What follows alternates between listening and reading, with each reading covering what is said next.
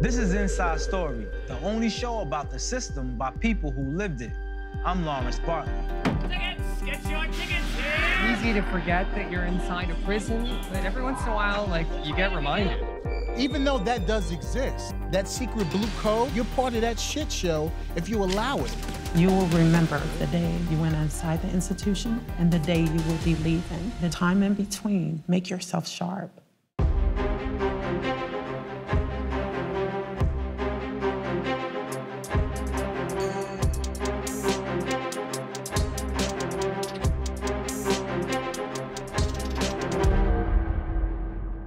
For people who've never been incarcerated, asking someone who has is generally the best way to get an idea of what prison life is like. But some people take a different approach. Prison tourism is a collection of museums and experiences that could give a very skewed idea of how the justice system works and who it's for.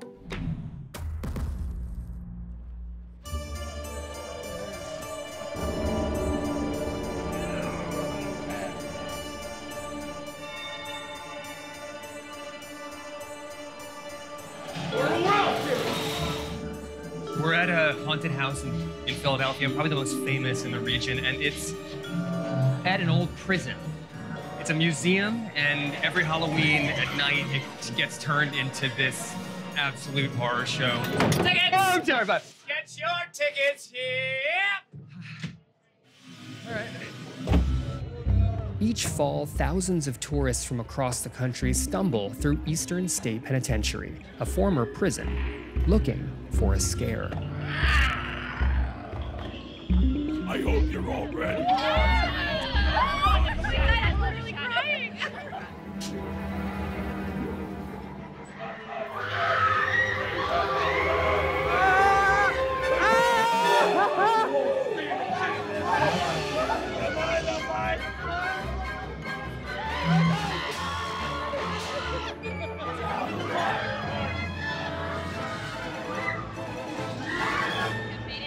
You know, it's like easy to forget that you're inside a prison, but every once in a while, like, you get reminded. There's like the guard towers up there, they've got like the spotlights, like searchlight, like someone's oh, escaping.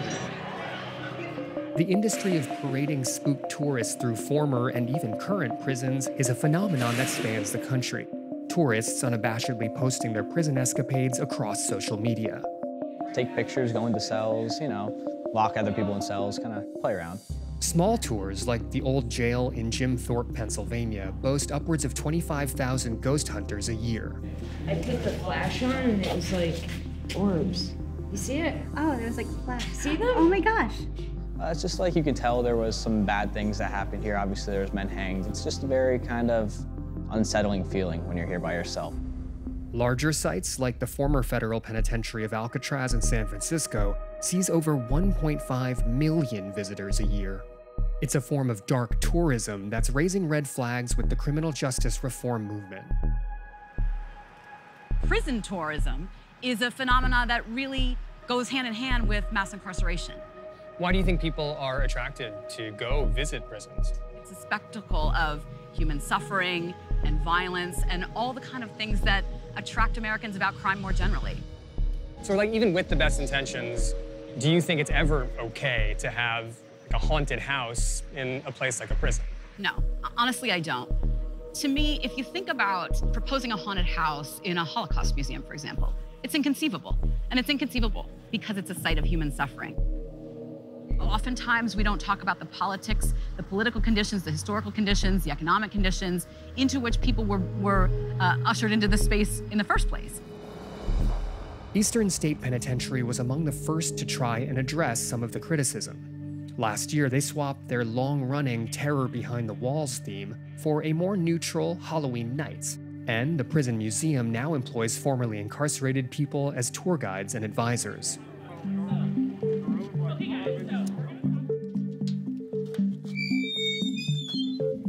Are you guys from Philadelphia? No.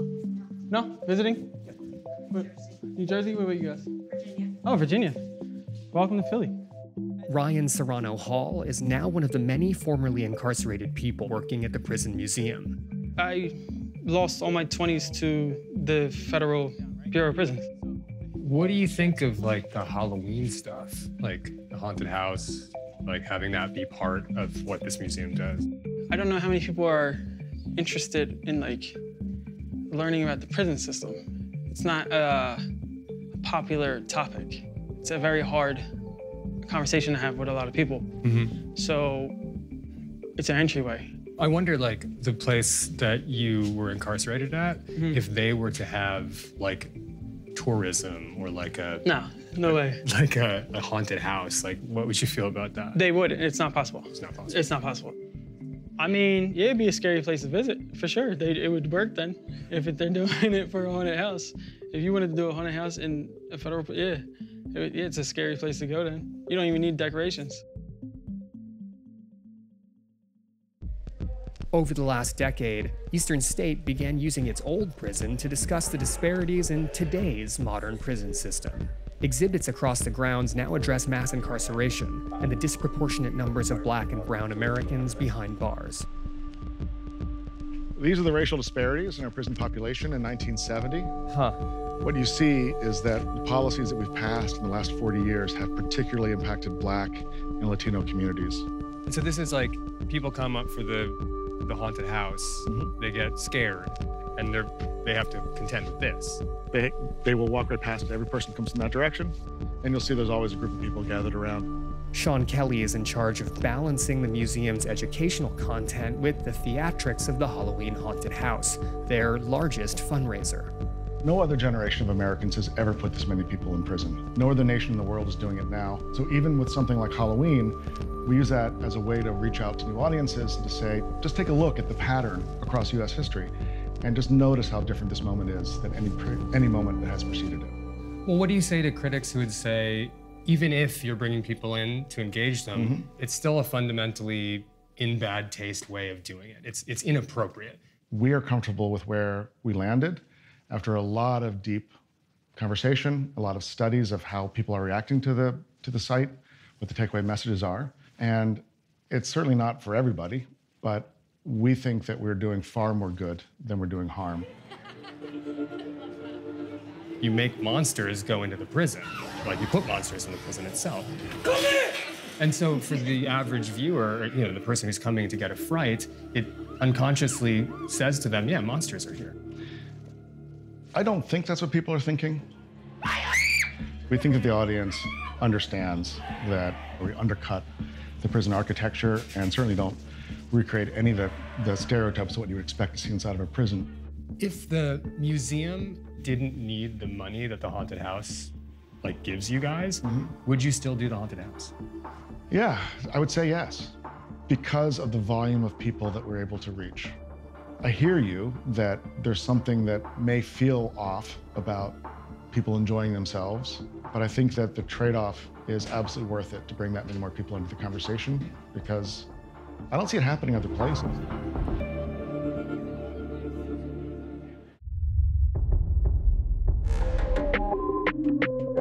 Twenty years ago. 32 years. Three decades. Nine years for murders he did not commit. There's a growing movement to ensure that people wrongly convicted of crimes get compensated for their time in prison. In the last three decades, more than 3,000 people have been exonerated. Black people are much more likely than whites to be wrongly convicted of murder. But still, in 12 states, if you serve time for a crime you didn't commit, the state won't give you a dime. Legal experts warn that with Roe v. Wade overturned, women who have miscarriages or stillbirths could face more child neglect or manslaughter charges.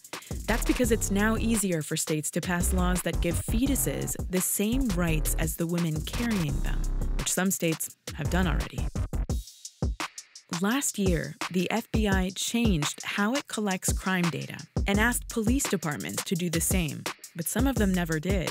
That's left the FBI without data from departments serving a third of the population, including the country's biggest departments in New York and Los Angeles, meaning the FBI doesn't know if crime is increasing, decreasing, or staying the same. Cops aren't exactly known for speaking out, but two detectives from Baltimore, Dre and Big H, started a podcast to do exactly that. I want to say thank you for coming on because it's, it's not often that someone like me, who's formerly incarcerated, get Baltimore police officers to come on the show to talk real. Oh yeah, absolutely. Why was it important that you created your podcast, The Silverback Chronicles? We just got tired of um, people saying, you know, the black the black cloud around policing, and I get it. I do get it because a lot of officers do it to themselves and they create that. But we want to change that entire narrative because we're phenomenal men, we're phenomenal detectives. We have fun, and every altercation we came with amongst people in the streets, it, it- not even altercation, but coming into contact with somebody, it always resulted in us dapping each other, laughing, talking. Yo, I didn't know police was like y'all. I never knew y'all existed. All the time. All the time. Doesn't matter where we go, it's always love. Now, you two speak openly in the media. So, what do folks on the force think about you two being so transparent? You look at the website, it says that they're transparent. So we're transparent. We are transparent. We also speak from our intellectual property. We're not speaking from the department or of the department. It just so happens that that's what we do during As the a profession, day. yeah. And we're not saying anything negative. We're just we're trying to spread more positivity.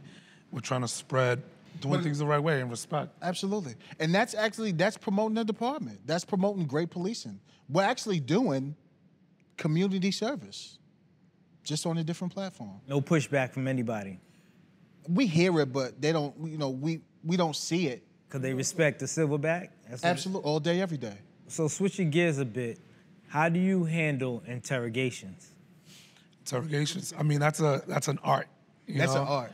The tactics that were used back in the day, I can't talk on it because I, I wasn't in that room, and every case by case is different. But what I will say is that now the technology, having cameras, you know, ha- has leveled out the, the, the playing field. So, is it true that interrogations are crucial during the first 48 hours when a crime happened? Do they teach y'all that? Um, or is that just TV? Uh, you know, every department is different, but it is crucial because the events that occurred are much more fresher. In those cases, when it involves a police officer, I'm told that they're not to be interrogated until hours, sometimes days later, when they have the attorney present and they get a chance to. And during that period, as y'all established, is crucial. It's the same as when you um, grab a suspect. If he invokes his right to speak and waits for his attorney, we can't interrogate. Well, I mean, but does that happen? I remember when I, but, but when I was arrested, I said I want a right to remain silent. They said, "Yeah, all right, you gonna get your ass in there, and I'm a right Wow. to whoop your mother." Yeah, that policing culture has it up. It's it up for everybody. everybody else. Because there's always an old school police culture. There's always an old school business that people just were under and they followed, and that was just how things were done. And that's it is horrible. It really is horrible. We're sorry, we're sorry that you went through that. Yeah, hell yeah. You know, Thank you. That's It's ridiculous. tough to hear, but appreciate that. You know that that that behavior has ruined it for like. Th- that behavior is the reason why we're in right now. But even even today, I see that some in some instances it's still not fair because the interrogations don't happen for police officers in the same way it happens for civilians. Yeah, and I, I- I think they are, you know, getting better with that because, um, man, police reform has been huge in the last five to six years, and that's every department. Like they have to, even federally. Let's say a person gets arrested for battery or whatever, but then a person is calling you all as a witness to say, Officer um, John Doe kicked me in my face. Would you all come and say, yo, listen, he kicked him in his face? Well, nine times out of ten, body worn cameras record everything nowadays. Right. But in the cases that there's not body cameras, Oh yeah, if if the officer did it, of course, of course. how would that make you, how would the culture be for you? Would you be ostracized department? No, you can't be ostracized. No. Even though that does exist. Right. That secret blue code, no. Because you're a liability. You're part of that, you're part of that shit show if you allow it and Right. turn a blind eye to it. And that's why there's bad police coaches worldwide. When we were in the Northeast, we always checked each other, even when things got a little bit too hot. You know, H will pull me to the side like, Dre, you're out of line. And also, the police officer has to be able to take that. How do you get the whole department to garner that same kind of respect when a situation like Freddie Gray happens and no one gets held accountable? Individuals. Individuals. I mean, I will say that our department, the people that work the streets, the best people out there. But for everybody to be on the same page, you know, it's leadership, it's it's brass. Yeah. Everybody has to want to do that. That you know what I mean? That mission. So, what's the one thing you wish the community knew about policing? We're human just like them. We take this job serious and we're really here to protect them. I would like for them to know that we're really here to help. We would love to see less men of color getting killed, you know? Word. And we don't want to see, we don't like to see bodies on the ground. Like we go home and have have nightmares about that. Well, thank you, fellas, for coming out and for talking with me and for definitely keeping it real. You know, Baltimore PD's finest in the building. I appreciate that. Now Thanks for we having us. appreciate you. Means everything. Tyra Patterson spent more than two decades in prison before her case was overturned by the governor. Now she's fighting for a full pardon and doing some pretty great things.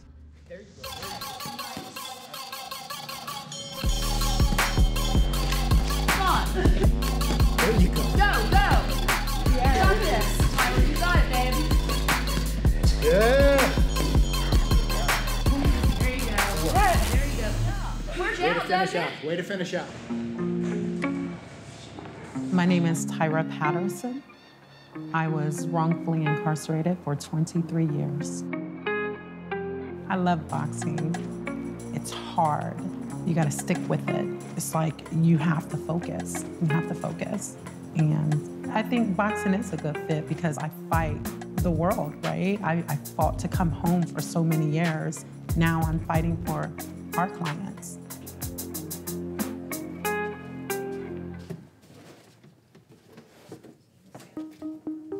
OJPC stands for Ohio Justice and Policy Center. And what we do there is quite the opposite of the Innocence Project. We only represent those who have made mistakes. And I always say humanity should not and cannot wait for freedom. And that's what we do. We humanize those who have made mistakes. Everything happened when I was 18. I had made a false confession just to go home. And that's what I thought was going to happen. I was young, I was scared, and I was also illiterate. I dropped out of school when I was 11 years old because my family and I experienced chronic homelessness, but I had to learn how to read to be able to fight. And my bunkie, who is now my best friend, Amanda, encouraged me to go to school. And I said, but I'm embarrassed. I'm embarrassed to go over there because I know I, I'm not educated. She was, and she said, I'll never forget, be embarrassed if you don't do something about it. And she would sit up at night with me and teach me what a sentence was, what a comma was, where I added my periods, um, and it motivated me. So I made prison my education. While I was inside of prison, I kept writing attorneys and TV shows or whomever would listen to my story. And I wrote Ohio Justice and Policy Center, and David Singleton, who is my colleague but also my attorney, came to visit with me to tell me he's not going to take my case because it's a wrongful conviction, and that's not what we do. However, he investigated, looked into it a lot more, and became interested and told me that he will be helping me. And in fact, he became my leading attorney.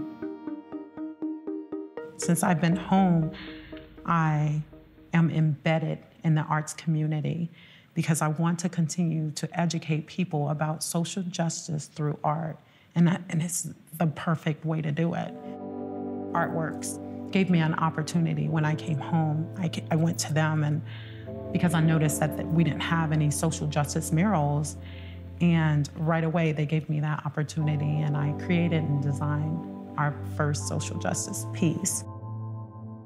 The mural depicts five women who works in the social justice field and have been overlooked. When we talk about mass incarceration, the focal point is always with men. However, since 1980, our women's population has increased 750%. So I wanted to focus on women who have made mistakes. I am involved in the arts community and um, the law firm, I work there, but I'm also a teacher. Like I said, I dropped out of school when I was 11 years old, so this has come full circle for me.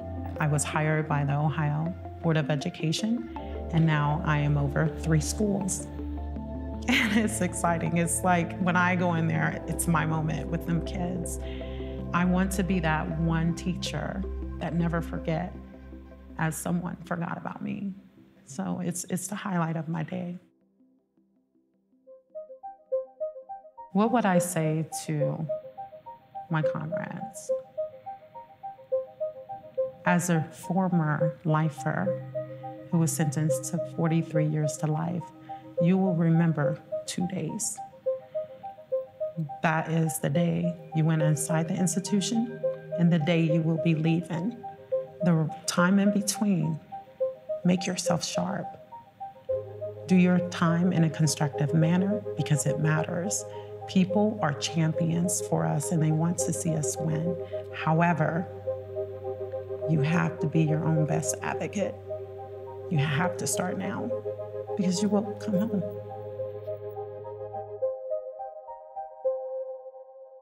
It might surprise you that a show that's by and for incarcerated people will give you the perspective of law enforcement.